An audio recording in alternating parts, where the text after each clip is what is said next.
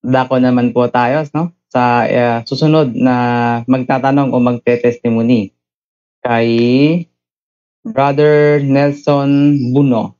Brother Nelson Buno, astamit po kapatid. Good evening po mga bro. Yes, magandang gabi rin brother. Ano po yung nais natin brother? Uh, gusto ko lang i-tanong yung kasi meron kong kasamahan na Mormon sa opisina. Uh, lagi ko siyang pinapangaralan sa mga tungkol sa katoliko kasi nagmormos na siya.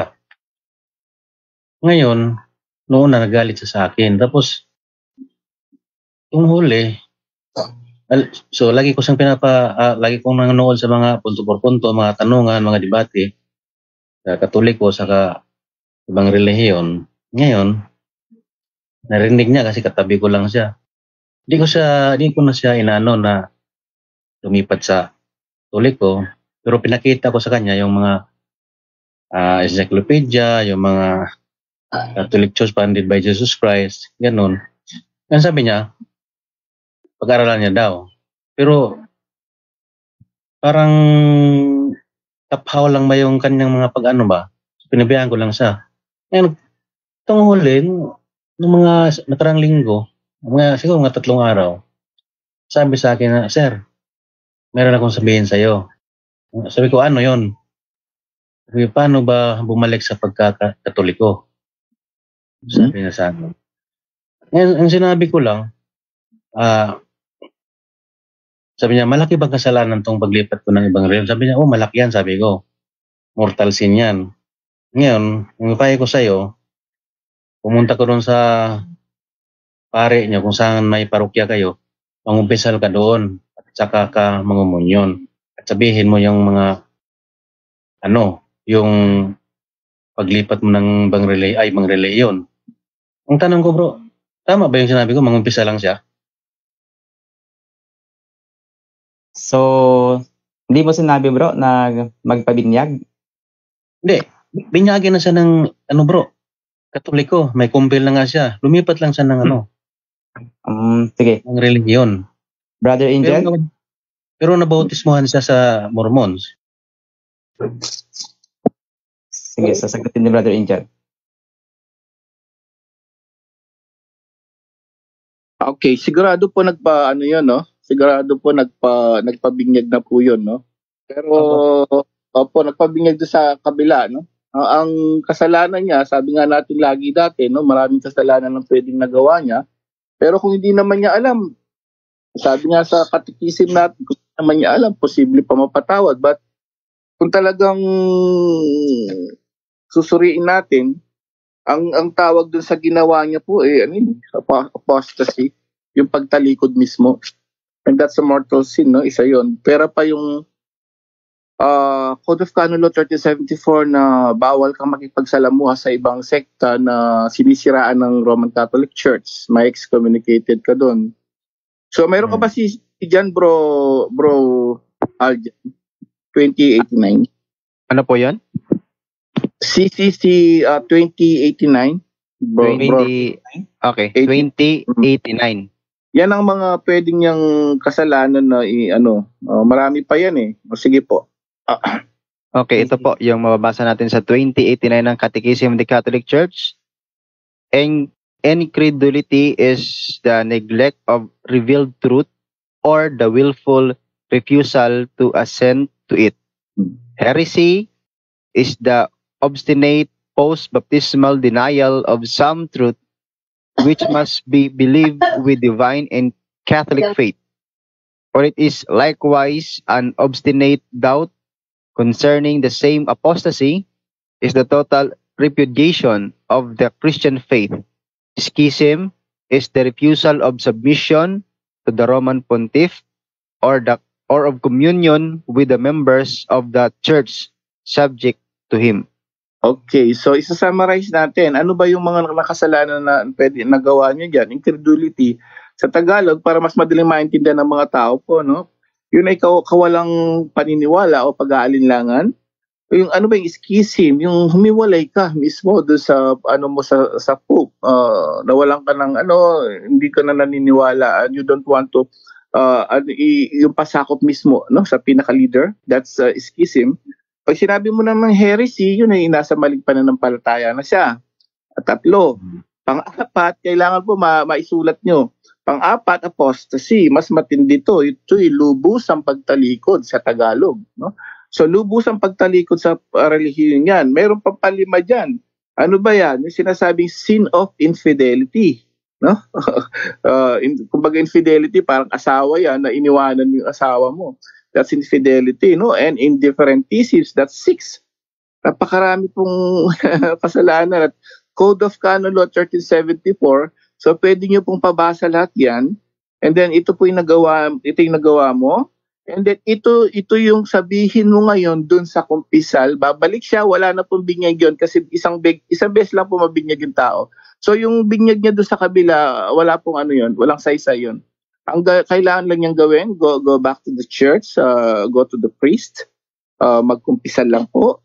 And then para baka lahat 'yun, lahat hindi lang naman 'yun, pati yung, uh, ano, pati ang daming niyang ikukumpisal, kailangan lista niya lahat 'yun para ma- mas mas mas ma- mabuo.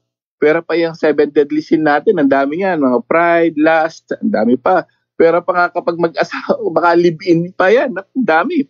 Kung live-in siya, uh, tuloy-tuloy, that's another mortal sin, no? Uh, civil marriage, mortal sin pa rin yun. Tapos lumipat pa siya sa iba sekta, napakarami kasalanan. Tapos contraception, baka maano yung mga tao. Contraception, yun. So, ako, birth control. Kung nagbe-birth control sila, another mortal sin yun. No? Ang na, na, na-research ko, alam nyo, lahat ng nakikinig ngayon, pag nagbe-birth control ka, sabi sa Catholic Cancer, nakakatakot. Uh, may tin- para ka nagpapa-abort pala. Abortification ang tawag.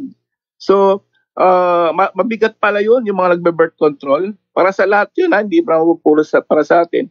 Uh, abortification, ibig sabihin nun na uh, indirectly hindi mo pinalalaglag pero nalaglag siya eh nilabas mo eh. So that's that that's abortion. Uh, eh kung ilang beses ka nagpa birth control mga kapatid i-ano niyo na rin yan i ang talagang ano diyan allowed lang calendar method yun lang po no? Bawal ang contraception birth control. Talaga nabasa ko nagulat ako. So isusulat niyo po lahat yan no? Yung birth control contraception sabi sa isang Catholic Answers na website na basa ko nagulat ako oh, kasi tanungan portion yun eh. Eh, theologian at mga magagaling na philosophers, Bible scholar na sa Catholic uh, answer sa buong mundo yan. Sila nakakaalam. Hmm. So yun, pero pa yung mga seven deadly sin, Diyos ko, dami. Dami kasalanan tao. And then, lista niya po yan, general confession, and then he can receive communion, kapatid. Ah, sige bro, salamat. Pwede pa isa bro. Sige po, bro. Ah, nagtanong ulit siya sa akin, sabi niya, ah, mayroon ba daw talagang, ang rosary ba daw eh, ah, mayroon ba daw talagang, ano, ang Biblia sa rosary? Ang sinagot ko, wala kang mabasa daw na magrosary ang ah, mga mga apostol. Pero sabi ko, ang rosary, sabi niya, ah, sabi ko, parang maliit na Biblia yan. Andyan dyan yan si Jesus Christ si Mama Mary, magkasama yan. Kung i-ano mo yan, eh, i muni-muni mo yan habang nagrosary ka, sa, hindi yan ang kahiwalay si Jesus kasi Mama Mary, sabi ko. Mula sa, mula sa pinanganak, sa, ano, hanggang umakit siya sa langit. Sabi ko sa kanya. Tama ba yung sagot ko, bro? Ganon?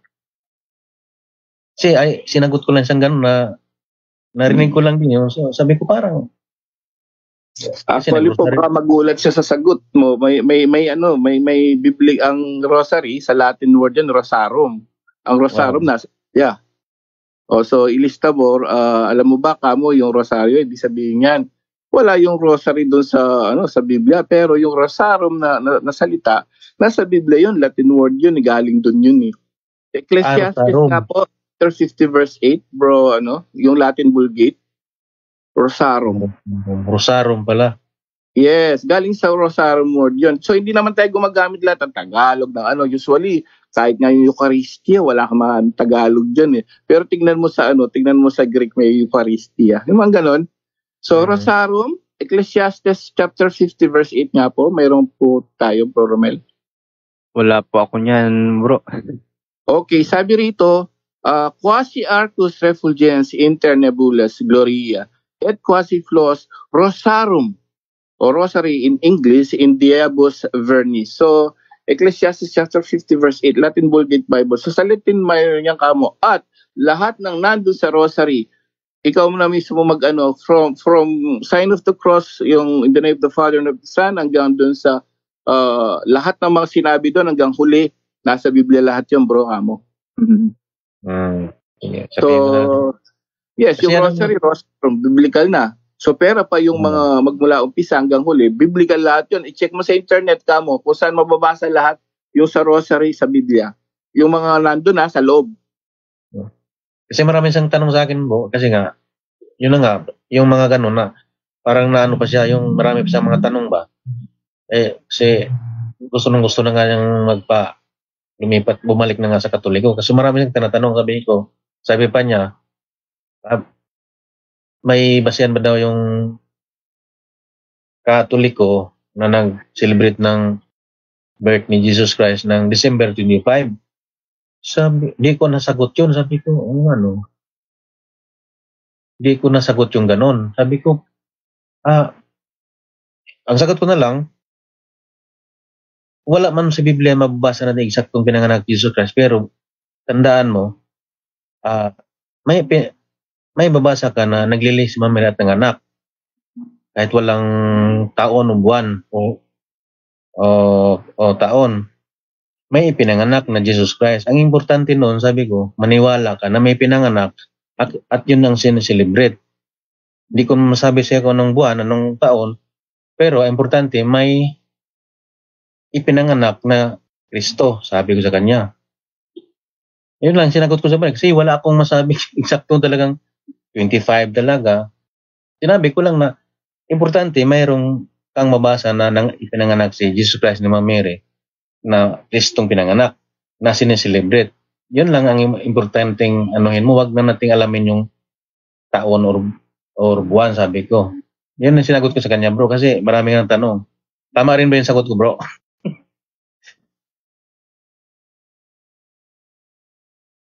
Yes bro, ah, tama din yun. No? And at the same time, ang mga expert na nakakalam nun. Pagka nagtanong po siya uli, ganito na lang. O sa delay, isa-search ko kamo. So, why, ang ah, pagka may tanong siya, Englishin mo lang yan. And then sabi mo, ah, ilagay mo sa huli Catholic answer. Halimbawa, kahit sinong mga nakikinig ngayon, may nagtanong sa inyo, hindi kayo sure. Lahat ng information ng Katoliko nasa internet. So, halimbawa, ito yung tanong, December 25 ba talaga pinanganak? So ano nung kailangan lang marunong kayo mag ano mag-analyze do sa tanong eh. And then Englishin niyo lang yan ng simple. Pag in-English niyo yan, punta kayo sa Safari o sa Google. Uh, why December 25 uh, is the birth of Jesus according to the Catholic? And then Catholic answer, nandun na po yun ang paliwanag.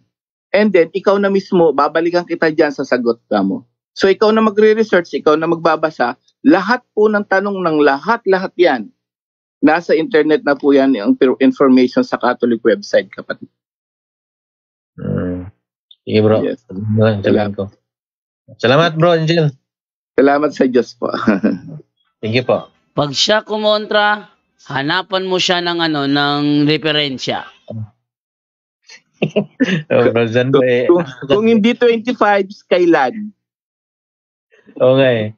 Eh, gusto, marami siyang itatanong kasi gusto nga nang bumalik. Sabi ko, salamat naman at medyo na ano siya ba? Kasi hindi ko na siya inaaway dahil nag-away-away kami dahil ayaw siya makinig sa aking paliwanag ba? Kasi nandun daw sa Mormons yung tunay ng Diyos nung nagdasal siya. Sabi ko, hindi, tunay ng Diyos yung nasa Mormon, demonyo yun, sabi ko. Hindi lalo siyang nagalit sa akin. Eh, sabi ko, eh, sabi ko, hindi ko na siya ito kontrahin kasi eh, mag-aaway lang kami. Ginawa ko, eh, inamamo ko lang siya para, ano, binibigyan ko anong binibigay niya pagkain, ganun ba? Siguro, na-realize niya. Tapos nakinig nga siya sa ano, lalo dyan sa punto por punto. Yung, habang nasa opisina kami, pinapakinggan ko yan, lalo ba yung debate, nakinig si din siya. Sabi, tawag nga sa akin, brother, eh, si, brother. Siguro, na-realize niya ng huli na, no? Tapos nagsisearch siguro siya. Kaya ito, natuwa ako nung nakarang apat na araw siguro. Sinabi na, paano daw bumalik sa pagkakatoliko, sabi niya. Sabi ko, um, ngumpisa lang kasi kasalanan niya eh. Mortal sin daw yan eh, sabi ko. Kasi tumalikod ka sa paniniwalang katoliko. Sabi ko sa kanya. Ah, sige sir. Sabi ko, huwag kang mangumunyon. Kung magsisimba ka, huwag kang mangumunyon hanggat hindi ka napagkumpisal kasi lalo ka rin makakasala niyan. Ah, sige sir, sabi niya. Ayan lang po, bro. Dando, bro. Angel. Maraming salamat po. Ayun, thank you so much bro sa yung Brother Romel. Yes. Bro, pa-take over mo na bro. Okay, ah uh, okay. Meron lang akong gustong idagdag doon kapatid. Um, ah, naka, nakapagbalik na ba siya simba sa Katoliko? Yung kapatid na caller? Brother Nelson? Hasta mute muna. Uh, naka-mute ka po. Nag, hello bro, nagsisimba na daw siya sa simbahan ng Katoliko. Di na siya Okay. nagsisimba doon sa simbahan ng Mormon, sabi niya. Okay. Ganito po yung gawin bro, ah, if kailangan niya yung profession of faith, no? Bago siya magbalik sa ano, sa simbahan. Yun nga, eh, yung tama yung sinabi mo na pumunta sa sa pare, mag-confess siya, kailangan niya mag-profession of faith doon mismo sa pare. Para ah, binyagang katoliko naman siya para makapagbalik na siya sa pagsisimba and ah, mas maigi talaga. Maganda yan na nagtatanong siya bro. Kung hindi mo masagot tama yung advice ni Brother Angel, try to research. Or kung meron ka diyang ah, mga pare no na mga kaibigan kapag hindi mo alam yung sagot pwede ka naman mag-direct sa kanila. Alam naman natin sa 27 ng Malakyas eh pare yung pagtatanungan natin. If ever walang pare at may kilala kang mga Catholic apologists, CFT, pwede ka rin pong makapagpatulong para mas madali po na maging fully yung pagbabalik ng ah, kapatid sa simbahan. Oo nga bro, yan lang gagawin ko. Mga, mga theology na teacher siguro pwedeng tanongin. Mm. Kaya, halimbawa mga ano para ma-satisfied talaga siya. Oh, all right. Uh, so do you have any additional bro or what? Ah, wala bro. Yun na lang, yun na bro. Yun na ang ano ko. Sige. Kasi, para lang may tanong ko yung iba kasi susunod lang may tanong, pag di ko kaya, tatawag lang ulit ko sa inyo ulit. Ah, Okay. Salamat pwede ka naman pwede ka naman po mag-direct message sa akin sa Facebook if ever na available po ako, makakapagsagot naman po ko niyan. So, salamat Brother Nelson Buno.